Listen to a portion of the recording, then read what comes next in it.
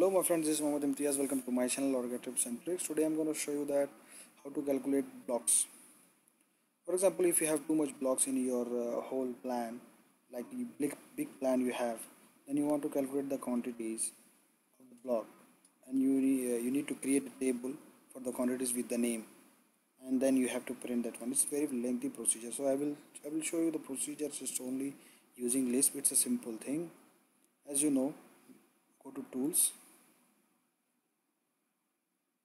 tools load application.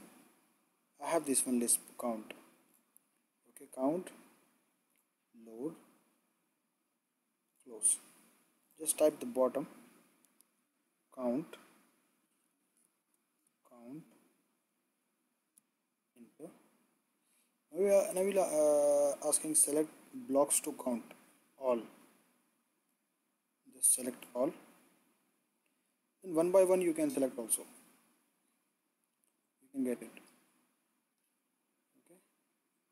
Now uh, just press enter.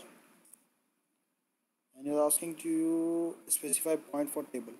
Anywhere wherever you want a table just click it. Click.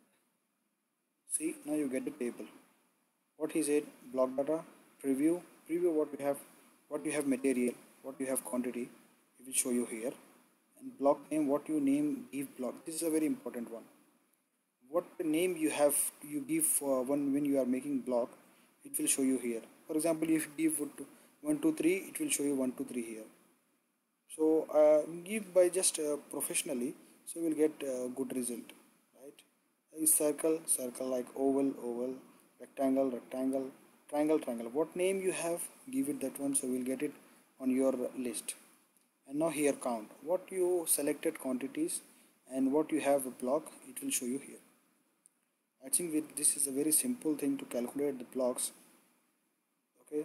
Uh, it's looking like simple but you have when you have a big plan you will get be you will get uh, easy to use this uh, okay? Thank you and hope you like it uh, this video and do subscribe my channel and hit the bell icon so when I uploaded a video you can get a notification.